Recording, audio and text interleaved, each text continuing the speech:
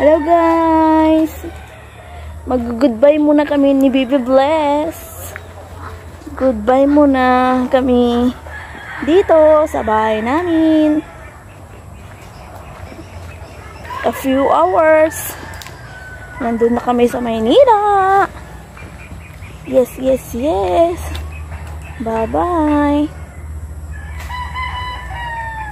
Bye-bye, Bibi. Bye-bye, Doggy. Bye. Hmm? Bye-bye.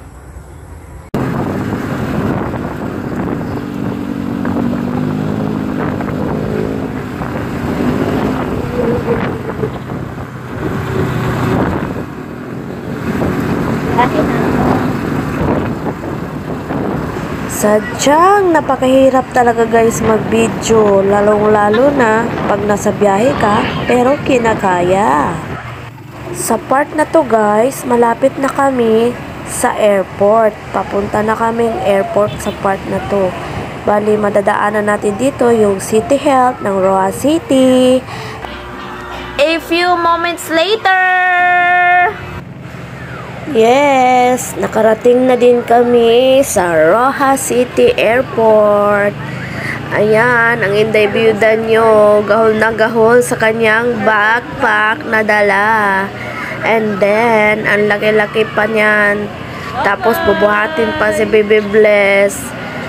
Ang bigat. Yan, flex ko sa inyo guys, yung Roa City Airport.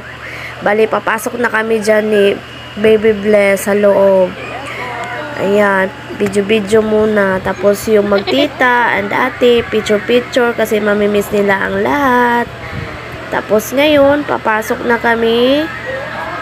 Gaantay na kami dyan guys kasi sasakay na kami sa aeroplano. Ayan.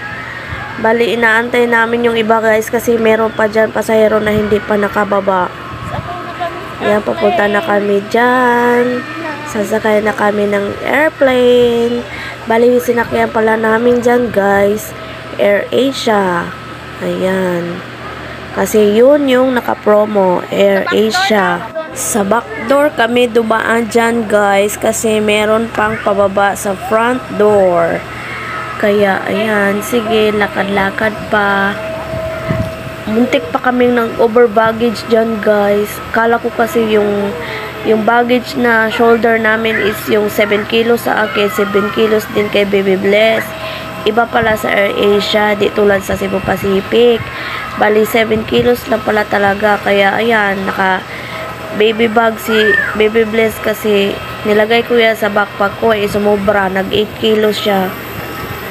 Yan, paakyat na kami dyan sa aeroplano. Buat-buat ko si Bibi Bless dyan. Tapos, buat-buat ko pa yung backpack na ang laki. Nahanap na namin dyan yung seats namin. Tapos nagpatulong ako dyan sa sa flight attendant na ilagay yung backpack ko sa may bagahe sa taas kasi hindi ko na kayang buhatin yan guys. Mabigat kaya yan, 7 kilos yan. Tapos buhat-buhat ko pa sa Bibibles. Nangi na ako ng tulong dyan na ilagay sa baggage area yung backpack namin. Ayan si Kuya, maraming salamat. Dito na kami ni Bibi Bless. Hi!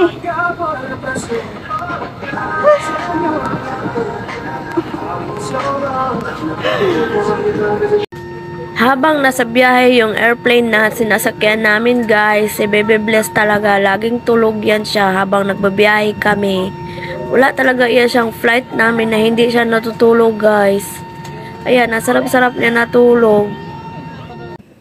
Sa puntong ito guys, nagre-ready na kami nito, pababa na kami ng eroplano. Pero bago kami nakababa ng eroplano guys, ang tagal-tagal namin sa loob ng eroplano bago kami nakalabas. Kasi walang maparkingan yung eroplano namin na sinakyan. Kumbaga sabi ng iba, traffic daw, pati daw ba sa pahimpapawid? Traffic? ayan, sinundo na kami ng bus dyan guys, yung shuttle bus ng, term, ng airport para papunta kami doon sa Terminal 4. Inabot yata kami ng isang oras kalahati guys na naka-stay lang kami sa aeroplano guys kasi nga walang maparkingan. Pero salamat na lang din at nakarating kami ng safety. Ayan. Ang aral na napulot ko dito guys is kailangan alamin nyo yung ah ang pas ang policy ng airport guys kung ano yung nakasulat sa terms and condition nila tsaka kung ano yung mga freebies nila guys para hindi kayo matulad sa akin na akala ko nag-over baggage na ako. So ngayon yung kalahating kilo guys na ano babayaran ko yun ng mga 1, 2 sabi ko ah, laki-laki naman ang babayaran ko. Kaya yung ginawa ko ginawa ko na na paraan tinapon ko yung tubig ni Baby Bless kaya ayan, nakasurvive ang interviewda nyo, gumawa ng paraan. Nasa Maynila na kami nitong, nitong guys. Bali, palabas na kami ng airport. Siyempre, madaming gutom na ang interviewda nyo dyan kasi nakababa kami ng eroplano mga 11.30 na na samantala yung flight namin is 9.05 tapos dapat darating kami ng 10 10.05 yata yun. Basta yun, ganun. Kaso nakababa kami ng eroplano is 11.05.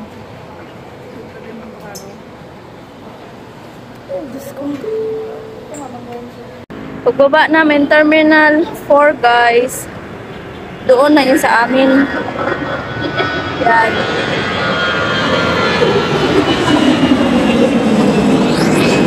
Ayan, doon sa amin. Lalakarin lang, pwede lakarin guys. Tara, maglakad kami ni Baby Bless. Ayan, pero kain muna kami. Jollibee. Basa. Kasi maulan. Ayan.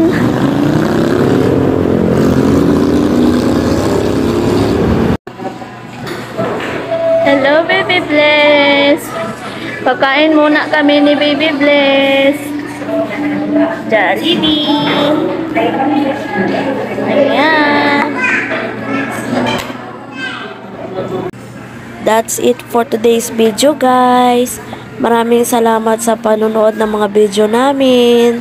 Sa support ninyo guys. Sa pagla-like, pag-share.